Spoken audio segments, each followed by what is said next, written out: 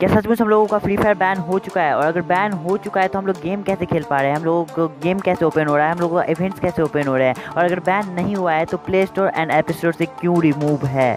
So guys आज की इस वीडियो में मैं कुछ पॉइंट्स कवर अप करने वाला हूँ, जो कि गाइज़ कुछ चीज़ें बताती है कि हम लोगों का गेम बैन हो चुका है एंड कुछ चीज़ें बताती है कि ना भाई गेम बैन नहीं हुआ है। एंड अगर सचमुच बैन हो, अगर हो गया इनकेस मान लो कि फ्री फायर बैन हो गया तो देखो, आप लोगों को परेशान होने की बिल्कुल भी ज़रूरत नहीं है। आप लोगों को पता होगा कि हम लोगों का फ्री फायर मैक्स भी है बट स्टिल एक प्रॉब्लम है कि जो लो एंड डिवाइस वाले हैं, जैसे कि मेरे तरह के लोग हैं तो वो मतलब नहीं खेल पाएँगे। एंड खेल तो अभी भी मैं गेम नहीं खेलता हूँ बट स्टिल अगर चालू भी हो गया तो मेरे को कंटेंट के लिए कुछ वीडियोस बैकग्राउंड वगैरह मिल जाएँगे तो जिससे मैं वीडियो इजीली बना पाऊँगा। तो सबसे पहले आप लोगों का ये पॉइंट कवर हो गया कि फ्री फायर बैन हो गया तो आप लोग क्या करोगे?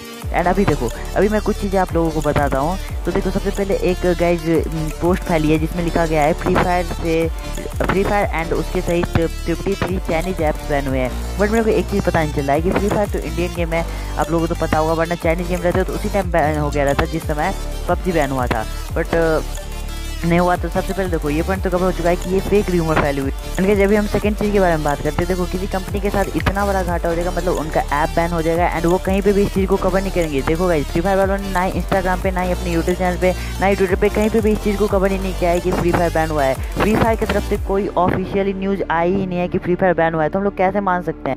बस स्टिल इसी के साथ कुछ चीज़ें हैं जो कि दावा करते हैं कि फ्री फायर बैन हो चुका है। देखो, एक ही एक गज ये जो इतना ज़्यादा वायरल हो गया है सबने वीडियो बना रखी है तो इसकी वजह से लगता है कि फ्री फायर बैन हो गया है। And App Store and Play Store से भी रिमूव है। तो ये भी एक कारण है कि जिसकी वजह से लोगों को लगता है कि फ्री फायर बैन हो चुका है बट स्टिल अभी तक फ्री फायर बैन नहीं हुआ है। एंड आने वाले टाइम में क्या होगा, वो आप लोगों को आगे पता चल जाएगा।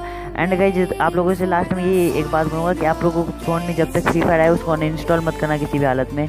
और गाइज़ बाकी जब तक आप लोगों का गेम चल रहा है तो आप लोग उसे इन्जॉय करो। एंड गाइज़ अगर वीडियो हेल्पफुल लगी हो, बहुत लोगों का ये ड्रॉप्स था तो मैंने कुछ ड्रॉप्स आप लोगों के आई होप क्लियर कर दिए होंगे।